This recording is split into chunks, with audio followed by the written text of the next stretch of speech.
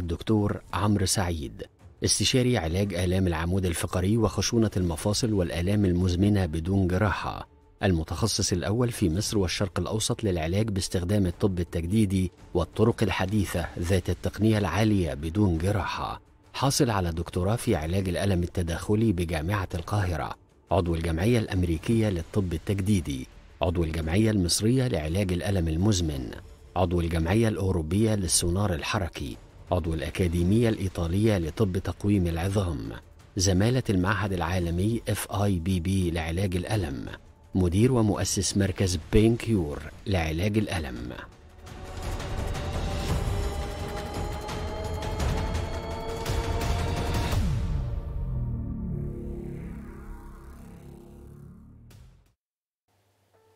أهلا بيكم. النهارده يوم مهم جدا لأنه يوم عن الألم. الألم دايما أيامه دلوقتي بقت مهمة للغاية بقى برانش في الطب شديد الأهمية. النهارده كمان عنواننا اسمه التردد الحراري. طيب التردد الحراري جهاز أصبح واسع الاستخدام. موجود في آه، العالم العربي وفي العالم كله. طفراته والتكنولوجيا المتقدمة فيه بتتطور سنة بعد سنة. لكن لما أقول لك إن التردد الحراري له دور مهم في علاج كثير من الالام يعني ال- الليسته كبيرة. هتفهم إنه هذا الجهاز له أهمية كبيرة جدا. يعني عد معايا. اولا ألام أسفل الظهر. طب ما ألام أسفل الظهر ناس كتير عندها ألام أسفل الظهر. ألام الانزلاق الغضروفي ضيق القناه العصبية مشاكل الكتف الأعصاب الطرفية العصب الخامس الصداع النصفي المفصل ال- الفخذ العصب السمبساوي. ال- الله. يعني اذا هذه القصة مهمة جدا. الت- التردد الحراري أصبح له وضعية مهمة جدا في عالم علاج الألم. طب تعالوا نفهم النهاردة بقى إيه هو التردد الحراري؟ دوره إزاي؟ بيعمل إيه عشان يتعامل مع مثل هذه المشكلات؟ الحرفية في ضبط التعامل هل نفس التردد الحراري اللي بيستخدم في علاج العصب الخامس هو نفس التردد الحراري اللي بيستخدم في آلام عصب السمبساوي أو في مشاكل مفصل الفخذ؟ هذه هي منطقة مهمة جدا في حوارنا النهارده. النهارده حوار ممتع جدا مع ضيفي العزيز القيمة العلمية المتميزة واسم لامع في عالم الألم. الحقيقة النهارده بيسعدني الحوار معه دائما الأستاذ الدكتور عمرو سعيد استشاري علاج آلام العمود الفقري والمفاصل وصاحب دكتوراه علاج الألم عضو الجمعية الأمريكية للطب التجديدي والجمعية المصرية لعلاج الألم المزمن والجمعية الأوروبية للسونار الحركي زمالة المعهد العالمي لعلاج الألم والمدير لمراكز بين كيور لعلاج الألم الاسم المتميز للغاية. أهلا بيك يا دكتور. أهلا دكتور أيمن زي حضرتك. الله يخليك. لماذا اخترت التردد الحراري؟ ما المقصود بالتردد الحراري؟ ليه حطه على قائمة الحوار بداية يعني إحنا دايما بنعكس بنتكلم على المشكلة ثم نذكر العلاج. لا ده أنت حطيته هو ك خلاص إحنا هنبدأ بالتردد الحراري في الحوار. عايزين نصحح مفهوم آه، كلمة تردد حراري مع عند الناس. لأن خلاص أصبح حاجة آه، tool بنستخدمها وسيلة علاجية آه، بنستخدم آه، بنستخدمها لعلاج آلام مختلفة. حاجة أساسية في branch نا اللي هو تخصص علاج الالم يعني إيه تردد حراري؟ هو تردد حراري باختصار عشان السادة المشاهدين يبقوا عارفين. هو اسمه ال radio frequency. ال radio frequency هو استخدام جهاز بيحول لي الكهرباء إلى ترددات كهرومغناطيسية أو موجات الراديو موجات الراديو العلاجية. طب ده وجدنا إيه؟ وجدنا إن هو بنقدر نعمل بيه كذا حاجة. اولا بنستخدمه باستخدام عشان نعمل release للمواد العلاجية اللي عند الأعصاب بنعمل بيه resetting يعني إيه؟ إعادة ضبط المصنع للعصب المصاب. بنعمل بيه بتزود بيه ال- ال- ال neuro ال neuro حاجة اسمها بنعمل neuromodulation تحور على مستوى الألم بنمسح الألم المزمن. بنعمل زي ما قلت كده resetting للألم عن طريق استخدام الترددات الكهرومغناطيسية للعصب المصاب أو النسيج المصاب. التردد الحراري آه، آه، حاجة مهمة جدا في تخصصنا أنواع.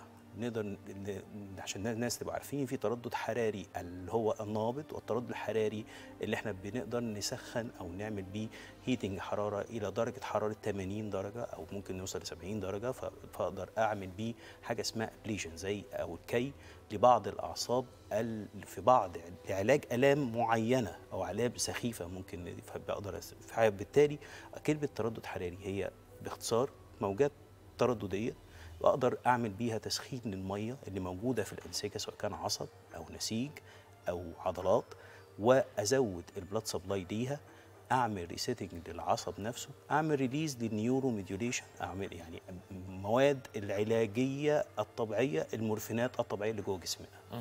التردد الحراري له أنواع أجهزة ولا هو نوع وبيتغير ال setting بتاعه؟ أنواع أنواع مختلفة. في طبعا بيستخدم في الطب من فترة يمكن نقدر نقول كده من السبعينات ليه استخدامات عديدة ودخل في استخدام علاج الألم ب- ب frequency معينة ليه ترددات معينة؟ يعني بمعنى إن مثلا زمايلنا بدكاتره الكبد بيستخدموها بترددات عاليه عشان يعملوا بيها كي. آه، في بعض التخصصات زي الجلدية زي التجميل بيستخدموها لعمل آه، كولاجين تحسين البشرة والتخسيس وهكذا.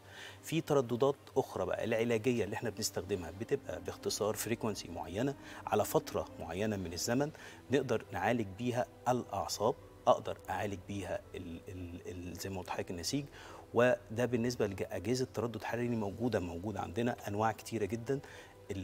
ابتدت طفرة تحصل في خلال الخمس سنين اللي فاتوا لتقنيات حديثة من التردد الحراري. يعني في تردد حراري اللي كنا بنسمعه من سنتين غير دلوقتي حضرتك. يعني أجهزة حديثة جدا ممكن أستخدم فيها حاجة اسمها ال bipolar يعني تردد حراري عن طريق إن أنا أدخل بإبرة وأعمل مجال ما بين الابرتين عشان أحسن أو أزود البؤرة العلاجية بتاعتي والأحدث الجيل الثاني من التردد الحراري اللي هو أحدث صيحات العلاج بالتردد الحراري اللي هو عن طريق السكن عن طريق الجلد. ده الجيل الثاني والحديث واللي بنقول عليه يمكن ده من ما فيش أقل من سنة بدأ بدأنا نستخدمه في مجالنا في علاج الألم. ال- إيه المشاكل بقى؟ إحنا أنا قلت بعض المشاكل التي يعالجها التردد الحراري. إحنا آه، المشاكل ممكن نعالج بيها زي ما قلت لحضرتك كده الألام المزمنة الألام آه، ال- الحادة منها آه، ممكن استخدم علاج ألام مفاصل جار فقرات خشونة المفاصل جار فقرات خشونة المفاصل عامة الانزلاق الغضروفي ممكن نستخدمه فيها في علاجها ألام العضلات آلام مفصل الحوض وخشونة الركبة المتقدمة من 2017 ده من من في بيبر معمولة إن التردد الحراري هو العلاج لحالات خشونة الركبة المتقدمة. ال- التردد الحراري في علاج حالات مفصل الحوض وعلاج الآلام المزمنة منها. وبطرق زي ما لحضرتك كده بندخل بأسلوب بسيط على المكان اللي فيه المشكلة وأقدر أوجه بيه الموجات. ده مثلا ده تردد حراري ال bipolar في بعض الأجهزة الحديثة دلوقتي هي اللي فيها بعض يعني لسه لسه الأجهزة دي نازلة مصر قريب اللي هي بنستخدم فيها bipolar radio frequency فاخد فيها مجال علاجي أوسع وفترة أطول. ودي كمان نقطة مهمة جدا. ما كانتش الأجهزة القديمة بتديها لنا الأجهزة الحديثة بتدينا المجال دوت في العلاج بتقنية التردد الحراري. السؤال بقى يعني إيه المميزات اللي بياخدها التردد الحراري؟ التردد الحراري بينفع لناس ما ينفعش أستخدم فيهم حقن. مضادات التهابات زي ما قلت آلام مزمنة شديدة. أنا محتاج أشيل الألم المزمن دوت وأعالج وأعمل resetting للمكان اللي هو فيه الإصابة سواء كان إصابة آه، آه، قديمة بقالها سنين ومحتاج إن أنا أشيل تراكم مواد الالتهاب. لأن إحنا في طبيعتنا الناس حضرتك إحنا في ربنا سبحانه وتعالى خلقنا فينا 15% من مستقبلات الألم بتبقى شغالة. من كتر ما بيحصل ألم ممكن 15% من هذه المستقبلات تعلى. وبتختلف من شخصية لأخرى ومن شخص لآخر ومدة الألم. يعني فترة الألم اللي معانا بقالها قد إيه بيتراكم ده معانا. فبالتالي استقبالنا الالم المسكنات ما تنفعش فيها العلاجات التقليدية ما تنفعش فيها. فبالتالي بلجأ لتقنية التردد الحراري عشان أعمل إعادة ضبط للعصب اللي بيشيل الإصابة اللي بيشيل ال- ال- الألم دوت وأرجعه يشتغل مره أعمل release لل neurotransmitters الجديدة. أعمل neuromodulation على مستوى العصب المصاب أو على مستوى النسيج اللي فيه المشكلة. ال neurotransmitter يعني معناها الموصلات الكهربية. تمام. بتتأثر بالألم. يعني الألم المزمن قد يؤثر على المستقبلات بيزودها قد يؤثر على الموصلات الكهربية. يخليها sensitive يخليها حساسة, حساسة. جدا. آه، آه. ممكن تبقى حركات غير ونشوفها طبعا في طب مرضى اللي بيعانوا من خشونة مفاصل جرف فقرات تلاقيهم حاجة بيعملوا حركة مش مؤلمة لكنها بالنسبة لهم بتبقى مؤلمة. طب طب المريض دوت اللي عنده ألم مزمن إحنا لازم له ما فيش حاجات وسائل علاجية بسيطة التردد الحراري اوجد لي الحل ده. إيه التوصيات أو المحاذير أو ال precautions أو ال- الحاجات اللي أنا أحطها سواء كمريض أو كدكتور قبل ما أستخدم التردد الحراري؟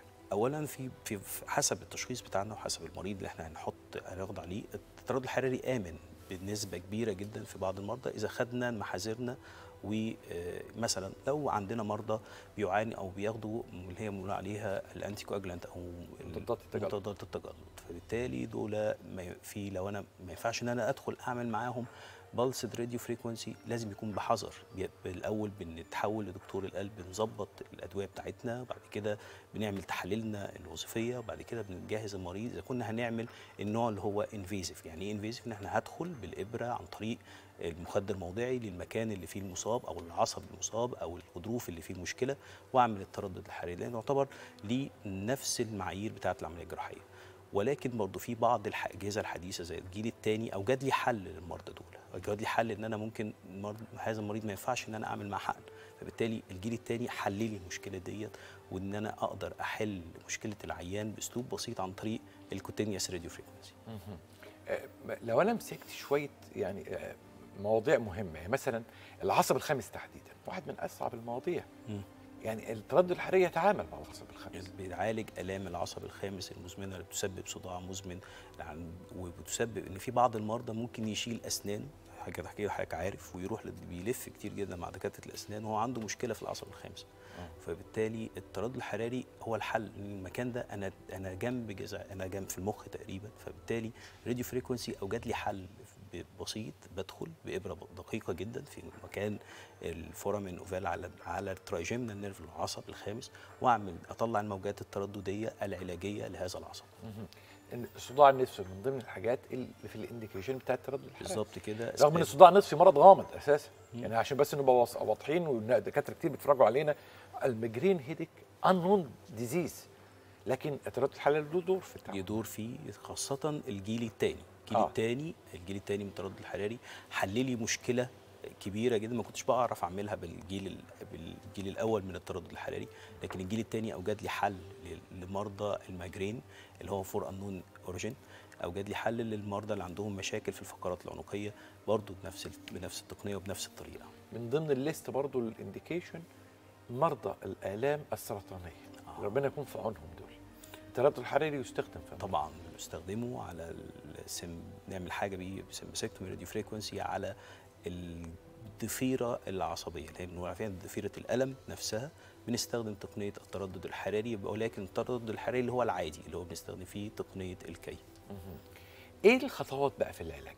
خطوات التردد الحراري نفسه كتقنية. طبعا إحنا هو مناسب معظم مرضانا خاصة مرضى الألم المزمن زي ما قلت لحضرتك ليه استخدامات عديدة أنا ممكن نحطها مثلا إحنا بنيجي تحت مخدر موضعي بعد ما نعمل فحوصات اللازمة للمريض اللي هيخضع لهذه التقنية سواء كان مرضى خشونة المفاصل أو سواء مرضى اللي بيعانوا من مشاكل في الفقرات العنقية زي المفاصل جار الفقرات بيتم مخدر موضعي بندخل على بندي تحت بيفضل بيكون العيان صاحي معانا تحت جهاز أشعة شايفين مكان الألم ومصدر الألم وبدخل بإبرة دقيقة جدا تحت جهاز الفلوروسكوب لتوجيه الأشعة واحيانا بالسونار وادخل على المكان العصبي المصاب واوجه الموجات الترددية. ده ده ال- ده البريك ده الخطوات. دي الخطوات. بهذا زي ما حضرتك زي ما السادة المشاهدين شايفين ده العصب ده بينقل بيعمل لي مشاكل في الفقرات العنقية بيسبب لي صداع بيسبب لي مشاكل في معظم المشاكل بتبقى سببها حوالي 60% منها منها هي facet joint المفاصل جار فقرات للفقرات العنقية. تقنيه في منتهى البساطة. وبنخش على المكان اللي فيه المشكلة target كده زي ال sniper زي القناصة على المكان العصب المصاب اللي بيسبب لي. طبعا المسكنات هنا ما بيبقاش ليها دور لكن التردد الحراري هنا بيوجد لي حل رائع لمثل هذه الحالات. نورت وشرفت وأبدعت. شكرا جزيلا. ضيفي العزيز القيمه العلمية المتميزة والاسم اللامع الأستاذ الدكتور عمرو سعيد استشاري علاج الآلام والام العمود الفقري والمفاصل وصاحب دكتوراه علاج الألم وعضو الجمعيه الأمريكية للطب التجديدي والجمعيه المصرية لعلاج الألم المزمن والجمعيه الأوروبية للسونار وزمالة المعهد العالمي للعلاج المتخصص في الألم مدير معهد مدير مركز بين كيور لعلاج الألم. كان ضيفي في الناس الحلوة. خليكم دايما مع الناس الحلوة. السمنة الحالة نفسها دايما بيبقى ليها قصة وساعات القصة دي تبقى قصة مأساوية. ساعات القصة دي تبقى قصة حزينة لكن القصة بتبقى حزينة في أولها بس في الغالب إن شاء الله تبقى مفرحة في آخرها وده شيء جميل. بطن العيان مهمه جدا للجراح. ربما تلاقي فتق آه، في جدار البطن يعوق المنظار آه، فتق قديم فتق جراحي آه، تتوقع إنه ده ممكن يعكسك أثناء العملية. واحد عامل فتق عنده فتق جراحي كبير وأنت وعدته انه يعمل عملية تحويل مسار ممكن تفشل إن أنت تعملها. تطلع الامعاء إزاي من فتق في الحجاب الح... في, في, في المعدة. معظم الناس آه، ربما يكون ثقافته في الأدوية مش زي ثقافه دكتور. أنت بتكلم واحد آه، أنت لازم تعيد عليه سؤال. أنت بتاخد نوع دواء سيولة واحد ولا بتاخد كذا نوع من أدوية السيولة؟ ربما يكون هو بياخد أدوية سيولة متعددة وهو بس فاكر إن دواء السيولة ده الأسبرين بس هو ده دواء السيوله بالنسبة له.